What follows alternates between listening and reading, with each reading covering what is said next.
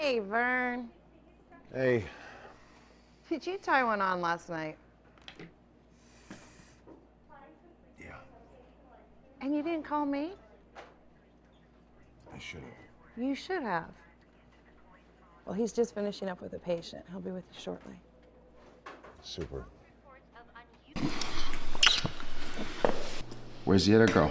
Don't worry, Big Daddy. She just wasn't ready. What do you mean if she wasn't ready?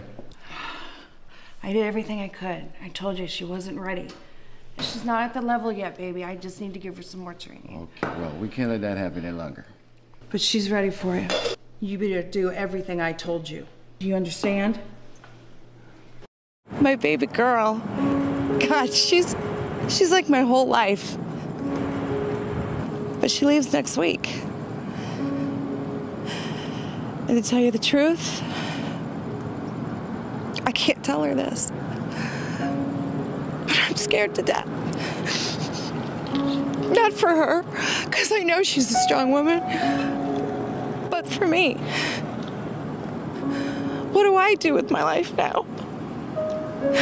All I've ever been is a mom. Put your damn cell phones away, and I need you all to pay attention to Miss Miss. Uh, What's the exact pronoun I'm supposed to say? Mr., Miss, he, they, what, it, Miss. Miss. I need you all to give your attention to Miss Timms. All right? Thanks. Thanks. Thames or not Timms? All right. Well, put your cell phones away, and I want you to pay attention to Miss Timms. Thames. All right? And don't embarrass me. I'm sure you don't need to. You're gonna quote Rocky Balboa to me when you just set off a cluster bomb in our lives? You selfish little man. We have children. We have a public persona. Were you even thinking about your family? No.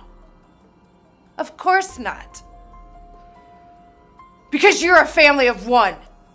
And you make me sick.